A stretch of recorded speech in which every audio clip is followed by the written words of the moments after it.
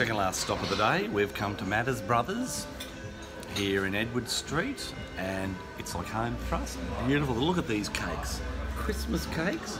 Deb, are you enjoying this? I'm having a lovely time. Dawn, are you having a cup of tea there?